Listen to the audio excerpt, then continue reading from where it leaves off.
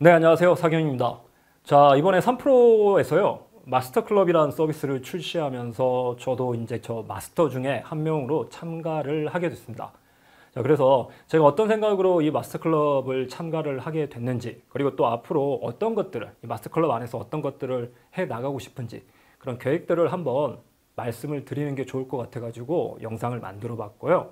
아, 뭐, 저를 사전에 다른 데서 뵙거나 뭐 언론을 통해서 뵙거나 아니면 제가 쓴 책을 봤거나 아니면 또 제가 3프로에서 했던 강의를 들으셨거나 해서 아시는 분도 계시는 반면에 아마 처음 보시는 분도 계실 거예요. 아, 저는 뭐 원래 직업은 회계사입니다. 2004년에 회계사 시험 붙고 나서요. 회계법인에서 회계 감사나 컨설팅 이런 업무를 쭉 했는데 회계법인에 있을 때 제가 이제 뭐 그런 요청을 받았어요. 강의 요청이 들어올 때가 있습니다. 그러니까 우리 뭐 회사 신입사원 들어왔는데 이 신입사원들 회계 지식이 없으니까 회계 좀 가르쳐 줄 수 없냐 해서 그런 자리나 그런 요청이 있으면 어쩌다 보니까 제가 이제 인연이 돼가지고 가서 강의를 하고 이랬는데 한 번은 증권사에서 강의 요청이 들어왔어요. 증권사에서 증권사 직원들 대상으로 강의를 해달라고 하는데 주제가 뭐냐라고 물어봤더니 어떤 주제를 원하시냐 했더니 투자를 할 때 재무제표를 어떻게 봐야 되는지 거기에 대한 강의를 해달래요. 그래서 속으로 생각했던 게 투자할 때 재무제표 어떻게 봐야 되는데 나도 안 보는데 그거 봐야 돼 이런 느낌이었어요. 그래서 아, 투자할 때 재무제표를 본다? 사실 저희가 했던 업무는 감사라는 업무는 재무제표를 만드는 것과 관련된 업무거든요. 그래서 우리가 재무제표를 만드는 쪽에서는 일해봤는데 그 만들어진 재무제표를 보고 의사결정을 하고 돈을 빌려준다거나 투자를 하는 관점에서는 사실 회계사들이 생각을 많이 안 해봅니다. 그래서 그때 저도 처음으로 그 요청을 받고 야 투자자 입장에서 재무제표 어떻게 봐야 되지? 뭘 보고 투자해야 되지? 이런 고민들을 그때부터 하기 시작했고 그러다가 나중에 생각했던 게 야 이게 단순히 말로만 해서는 안 되고 진짜로 그럼 내가 투자를 해봐야겠다. 내가 재무제표를 보고 그걸 보고 어떤 회사에 투자를 할지 의사결정들을 실제로 하고 그런 프로세스를 만들어 봐야지 그래가지고 실제로 그렇게 의사결정을 하고 했을 때 돈을 벌 수 있는지 그 돈을 벌 수 있어야 그래야지 사람들한테 아 저는 재무제표 이렇게 보고 이렇게 해가지고 이렇게 이용해서 이렇게 돈을 벌고 있습니다. 말할 수 있지 않겠냐 해서 강의를 하기 위해서 주식 투자를 본격적으로 좀 시작을 했어요. 그래서 처음에 투자를 시작한 거 저는 강의할 때 내가 강의할 때 실제로 강의할 소재를 얻기 위해서 강의를 하려면 투자를 해봐야지 될 것 같아가지고 그렇게 시작을 했었는데 근데 결과가 하다 보니까 제 기대 이상의 결과들이 나왔습니다. 그래서 지금 현재는 여기 제주도거든요. 아시는 분 아시겠지만 제가 뭐 더 이상 원래 강의를 하기 위해서 투자를 했는데 투자 결과가 나오다 보니까 굳이 강의를 안 해도 되겠다 하는 상황이 돼가지고 제가 2년 전에는 이제 제주도에 내려와가지고 제주에서 지금 살고 있고요. 어, 뭐 여러 군데서 막 강의를 했습니다. 뭐 금융기관 여러분 알고 계신 증권사 몇 개 정도 되는지 되시는지 모르겠지만 제가 강의를 갔던 증권사는 한 20개 정도? 어. 그래서 3,000시간 강의했다고 그러는데 그 옛날에 3,000시간 넘었고 뭐 그들은 굳이 업데이트 안 했어요. 그래서 많은 분들하고 강의를 했고 뭐 이런 책도 쓰고 기회가 되다 보니까 3프로나 어, 다른 매체에도 여러 번 출연을 하게 되고 그랬고요. 음, 제가 지금 제주도에 있으면서 여러 가지 생각이 들어요. 그러니까 이 3프로가 출시한 마스터클럽에 참가를 하게 된 이유는 뭐냐면요. 아무래도 제주에 있으면요. 장점하고 단점이 있습니다. 그러니까 투자를 할 때 그 투자를 하시는 분들 근처 예를 들어 쉽게 말해서 여의도에 있는 것과 여의도에서 멀리 떨어져 있는 게 제가 보기엔 각각의 장단점이 있는 것 같아요. 그러니까 여의도에 있으면 아무래도 빠르죠. 뭔가 소식에도 빠르고 정보에도 빠르고 돌아가는 소식에 계속해서 귀를 기울이게 되고 정보에서 빠르긴 하지만 대신 뭐가 있냐면 그 빠른 정보에 휘둘리는 것 같아요 확실히. 그러니까 좀 여유를 가지고 좀 길게 보고 한 발 떨어져서 생각하지 못하고 눈앞에 것들이 이렇게 막 휘몰아치니까 거기에 휩쓸려 다니는 것 같습니다. 대신에 이렇게 좀 멀리 떨어져 있으면 떨어져 있는 곳 중에서 국내에서는 가장 먼 여기 조금만 더 내려가면 저기 뭐 마라도 보이거든요. 어, 가장 먼 곳에 이렇게 떨어져 있으면 장점은 뭐냐면 어떤 평정심을 유지할 수 있어요. 어, 이렇게 막 급변, 단기적으로 막 변하는 그 움직임들에서 조금 자유롭고 좀 내 페이스를 유지하고 평정을 유지할 수는 있는데 한 가지 또 단점이 있습니다. 단점은 뭐냐면 제 생각 안에 갇힐 수가 있어요. 그러니까 투자를 하기 위해서는 그 생각에 좀 다양성이 좀 있어야 되는데 저는 멀리 떨어져서 저 혼자 지내다 보니까 제 생각, 제 고집, 제 편견에만 예, 함몰돼 버릴 수가 있거든요. 그런 것들을 막기 위해서 되도록 이제 많은 책을 읽고 또 멀리 계신 분들이 제주도를 찾아오거나 아니면 제가 가끔 방문을 해가지고 서로 교류도 하고 하지만 아무래도 좀 거리감이 있습니다. 그래서 그런 것 때문에 무슨 생각을 하게 되면 되냐면 이런 생각들을 좀 하게 되거든요. 내가 가진 이런 생각이나 고민들을 같이 나눌 사람, 또 같이 공유할 수 있는 그런 공간이 있으면 좋겠다라는 생각을 하는데 예전에는 제가 뭐 그런 것도 한번 해봤습니다. 예전에는 그 여러분 그 알고 계신지 모르겠지만 그 커뮤니티에 재무제표 같은 것들 막 분석해서 글도 올리고 그랬어요. 그 팍스넷이나 막 모네타 이런 데 있잖아요.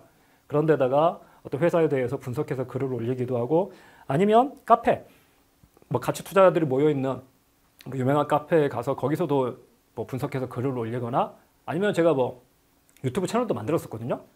근데 그런 활동을 하는 게 저는 되게 피곤함이 느껴지더라고요. 아, 그러니까 아, 왜 그러냐면요.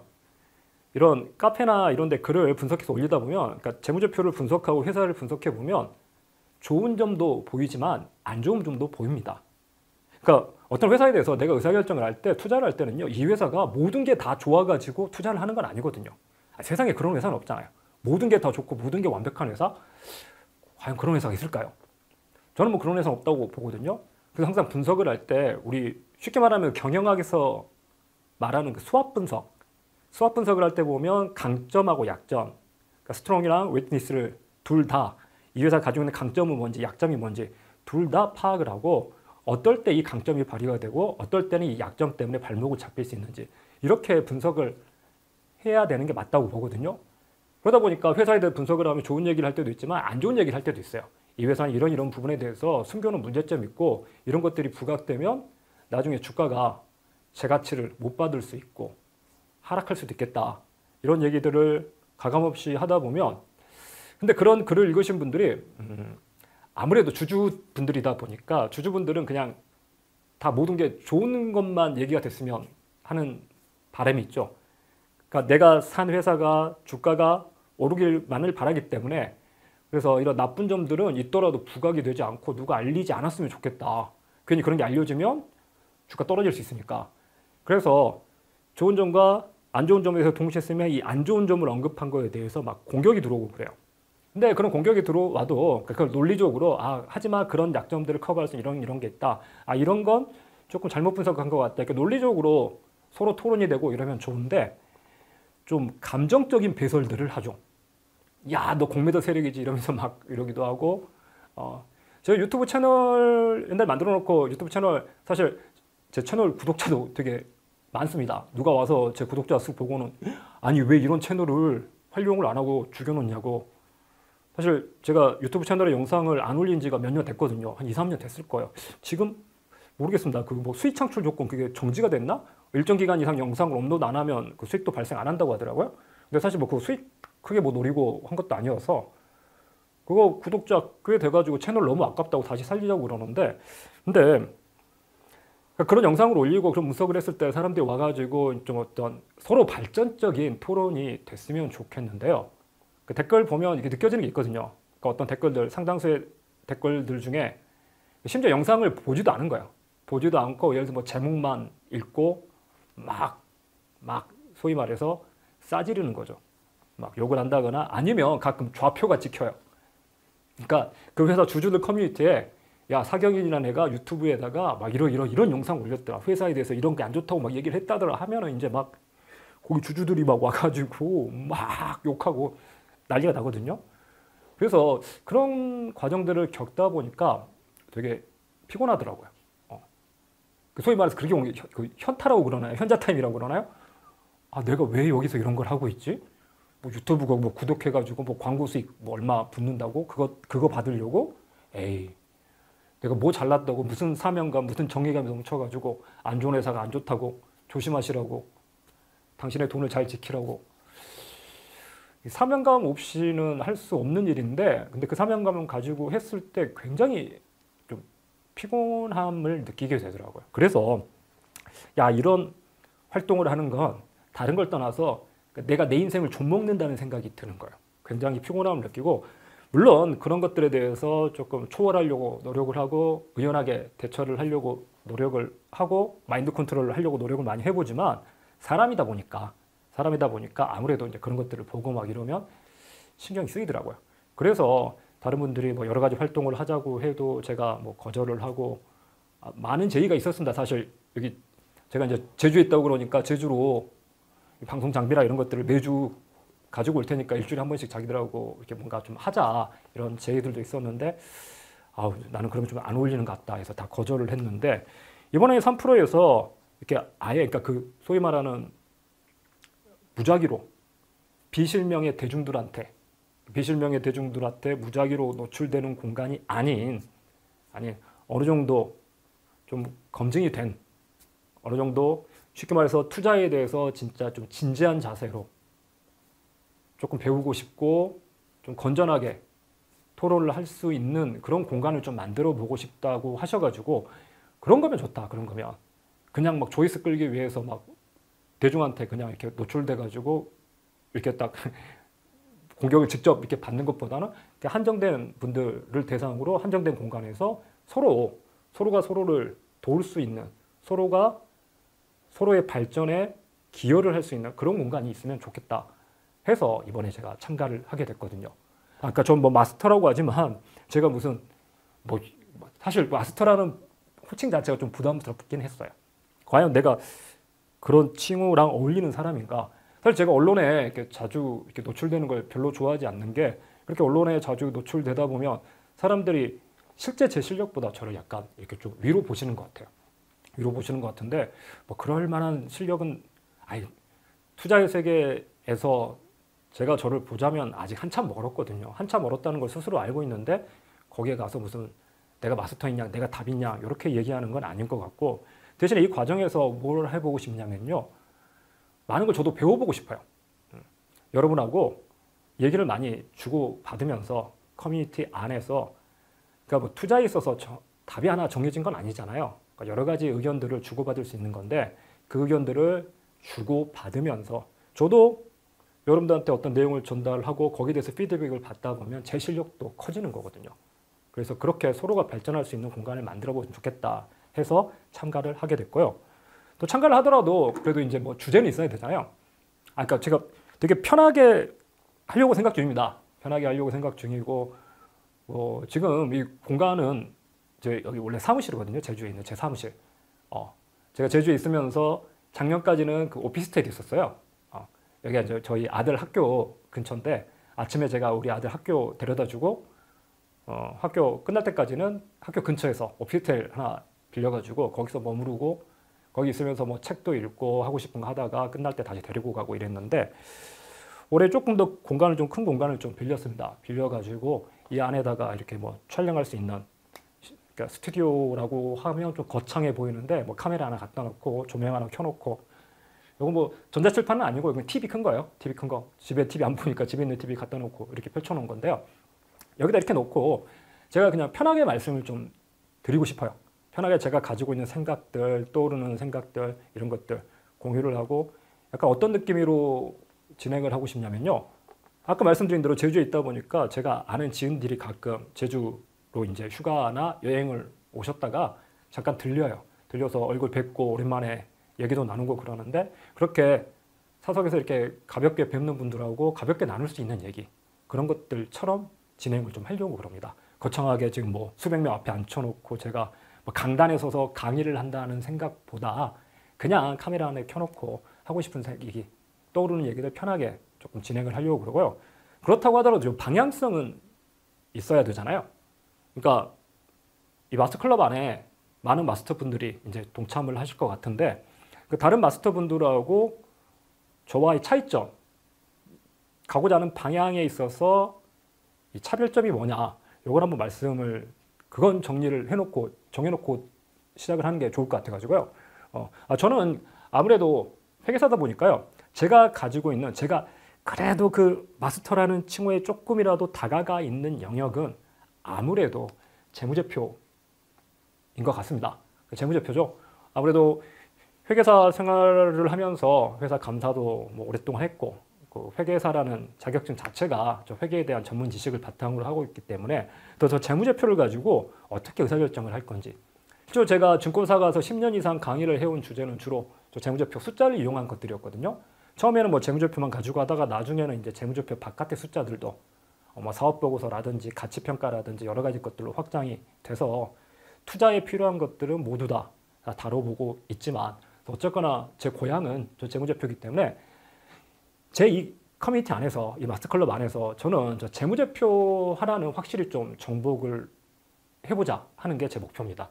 과거부터 그걸 좀 해보고 싶었거든요. 사람들한테 뭘 해보고 싶었냐면 재무제표에 대한 강의를 짧게 짧게 특강이나 이런 식으로 많이 해드렸지만 그 뒤로 실제 그러면 진짜로 그렇게 배운 내용을 바탕으로 어떻게 회사 재무제표를 읽고 어떻게 의사결정을 하는지 이런 것들까지 계속해서 실습을 좀 해갔으면 좋겠는데 그게 공개된 장소에서 그런 것들을 말씀드리는 건 조금 부담스러워요. 그러니까 이게 왜 그러냐면 제가 자신 있게 말씀드릴 수 있는 회사들은 제가 투자한 회사들인 경우가 많거든요. 그러잖아요. 아, 제가 제 돈을 실제로 태우기 위해서 제 돈을 투자하기 위해서 회사들을 분석했던 그 회사에 대해서 가장 많은 것들을 분석했고 가장 많은 고민을 했기 때문에 그래서 그런 회사들에 대해서 가장 자신 있게 말씀을 드릴 수 있는데 문제는 뭐냐면 그런 것들을 얘기를 하는 게 이게 일종의 선취매가 될 수 있습니다. 제가 산 회사를 남한테 당신도 사라고 그러니까 제가 먼저 사놓고 남들이 사게끔 유도하는 행위가 될 수 있어가지고 그런 것들을 공개적으로 하는 게 되게 부담스럽거든요. 그래서 이번 과정에서도 사실 그 부분 좀 고민이 좀 있습니다. 어, 제가 가진 종목들을 이렇게 말씀을 드리는 건 여전히 그 선침에 해당할 수 있기 때문에 그래서 제가 가진 종목들을 말씀드린다기보다는 뭐 여러 가지 이유로 제가 보는 종목들이 있거든요. 누군가 물어보는 종목들이 있어요. 이제 개인적으로 저랑 연락을 하고 지내시는 분들이 아, 이 회사 좀 어떤가요? 혹시 이 회사 한번 약간 봐주시면 안 돼요? 막 이렇게 요청을 하는 경우들이 있는데 그렇게 보다가 괜찮아 보이는 회사들 아니면 최근에 뭐 이슈가 되고 있는 회사들 아니면 커뮤니티에 여러분께서 아 회계사님 저 이 회사 좀 궁금한데 한번 봐주시면 안 돼요? 영상으로 이 회사 한번 다뤄주시면 안 돼요? 이렇게 요청을 해주시면 그 요청도 받아가지고 최소한 앞으로 100개 회사 정도는 재무제표를 보려고 그래요. 그래서 현재 계획으로는 한 일주일에 한 두 개 정도를 생각 중에 있습니다. 하나는 제가 이렇게 선정한 회사, 그러니까 우리가 공부 목적으로 이 회사 재무제표는 공부 목적으로 참 보면 좋습니다. 이 부분에 대해서 배우기에 참 좋은 회사입니다. 그러니까 그런 회사들, 사례로 쓰기 좋은 회사들을 보여드리기도 할 거고 또 나머지 한 회사는 여러분께서 요청하신 회사 아니면 최근에 제가 누구한테 요청을 받아가지고 한번 봤던 회사 이런 회사들로 해가지고 일주일에 한 두 개 정도 그렇게 보다 보면 한 1년 정도면 한 100개 정도 볼 수 있잖아요. 그렇게 한 100개 정도 회사 재무제표를 보면 다른 건 몰라도 최소한 재무제표에 대한 두려움은 훨씬 줄어들지 않을까 싶습니다. 그래서 여러분과 1차적으로 제가 목표로 하고 있는 것 최소한 100개 회사 정도 재무제표를 뭐 분석을 해보는 그래서 그 과정에서 실제로 이제 재무제표에 대한 기본적인 강의들이 이루어질 거예요. 그러니까 아무것도 모르는 상태에서 볼 수는 없잖아요.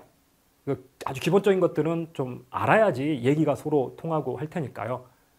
그러니까 우리가 뭔가 배울 때 깔려야 되는 기본 지식이라는 게 있잖아요. 기본 지식이 있는데 사실 들으신 분들이 재무제표에 대해서 어느 정도 지식을 갖추고 아니면 또 다른 강의를 통해서 배워봤다 하시는 분도 계신 반면에 아 나 재무제표는 사실 아는 게 거의 없는데 이러신 분들도 계실 거예요. 그래서 되게 다양하게 계실 거기 때문에 근데 제가 재무제표에 대해서 기초적인 지식이 별로 없다, 잘 모른다 하시는 분들도 함께 좀 참가를 해볼 수 있도록 조금 되도록이면 쉬운 용어를 사용하고 약간 쉬운 수집부터 시작해가지고 계속해서 100개 회사를 보면서 점점 점점 끌어올려 가보려고 합니다. 그래서 같이 한번 쭉 따라와 보시면 내가 투자할 때 다른 건 몰라도 최소한 재무제표만큼은 좀 크게 겁내지 않고 남들보다 좀 잘 볼 수 있다. 그렇게 됐다. 그렇게 만드는 게 제 1차적인 목표고요. 그렇게 하기 위해서 재무제표에 대한 기본적인 분석 툴을 좀 만들어 갈 거예요. 그래서 재무제표 볼 때 이렇게 이렇게 이렇게 볼 수 있도록 어떤 프로세스 첫 번째 뭘 보고 두 번째 뭘 계산하고 세 번째 뭘 확인해 보고 이렇게 이렇게 따라가다 보면 아, 이 회사가 이렇게 생겼구나. 투자할 만한 회사구나. 아, 이 회사는 투자하기는 좀 위험해 보이는구나.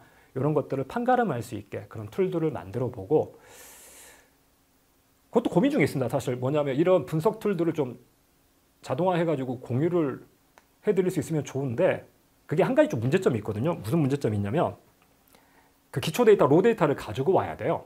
그 재무제표, 회사들에 대한 재무제표 데이터를 가지고 와야 되는데 사실 이게 이제 저 같은 경우에도 저는 유료 데이터를 쓰거든요. 유료 데이터를 쓰는데 제가 그렇게 유료 데이터를 가져와서 여러분한테 뿌려버릴 수는 없습니다.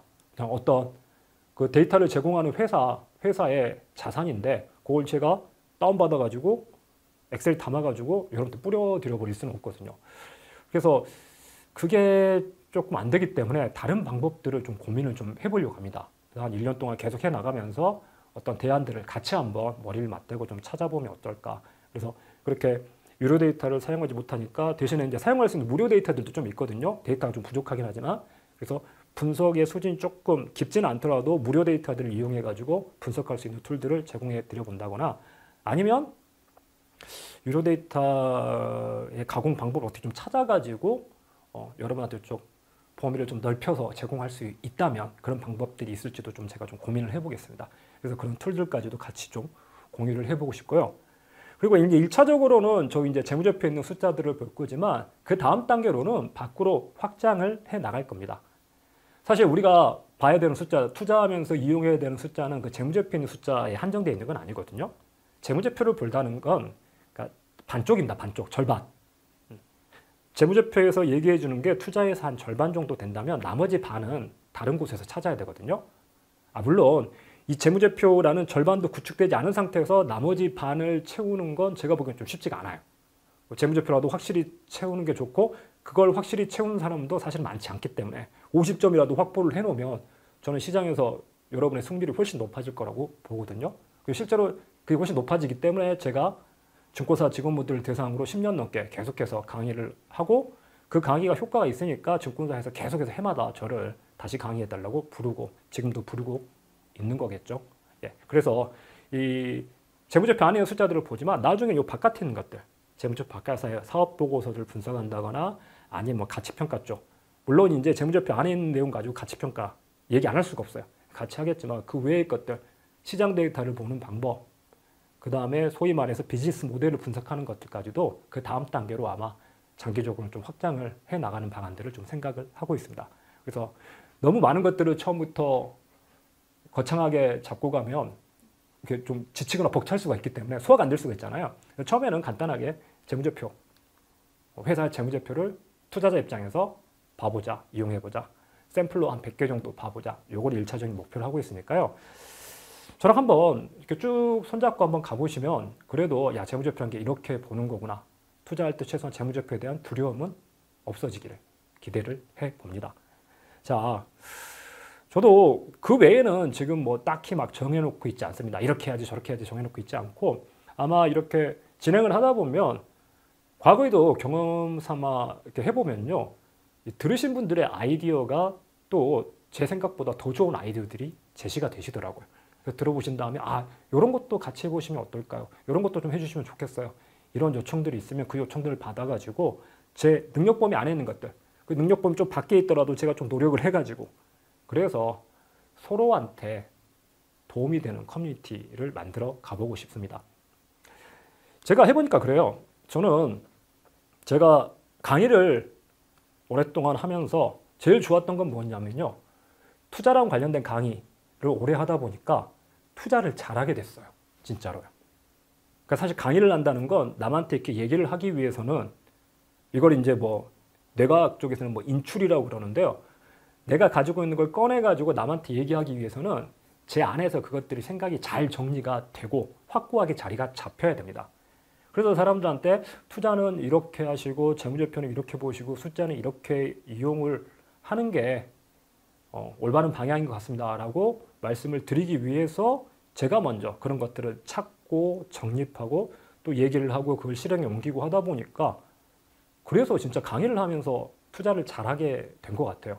그래서 성과가 물론 운이 좋습니다. 운이 좋긴 하지만 뭐 운이란 게 항상 좋을 수는 없는데 그래도 제가 원하는 기대했던 성과 이상의 결과를 제가 지금 얻고 여기 제주도에 와서 조금 편하게 제가 하고 싶은 것들 하면서 지내고 있게 됐거든요.